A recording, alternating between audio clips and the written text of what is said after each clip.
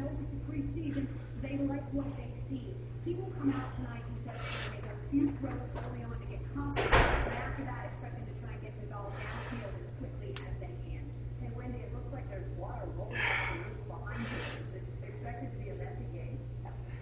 Well, Kristen, out here, the weather's bad. It's a hard and fast rule. You can mark it down. It's just the way it works. Uh, in South Florida, uh, we're, we're expecting some, some thunder showers, which we're seeing now, and some rain in the area throughout the afternoon. The forecast for tonight is not all that bad, but between now and 7 o'clock Eastern, get some visuals of the players because no matter how long you play, you usually judge after you select players. No matter how long you play, a player defined by that. And it's usually in critical games and critical moments. And Tony Romo, in critical moments, critical games, has failed to execute. He's made poor decisions, poor choices. You know, knowing that you're down scoring territory. Yes, you want a touchdown. I understand all that. But you know you're not going to score. The most important thing he's got to be thinking about security.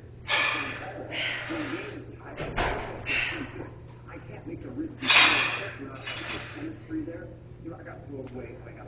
So it comes down choices, managing yourself as a player. All those things that I nothing there. It's 14 14 at this point. Once again, Greg Olsen with a nice catch. Down. And then second they tried this a couple times. The second time worked. It was close,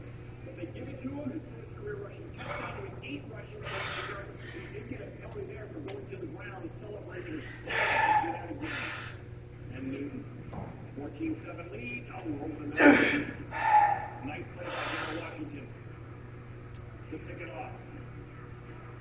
comes late, almost forces a turnover. Ligadoo Dene. The end zone as they try to get this score in the fourth quarter.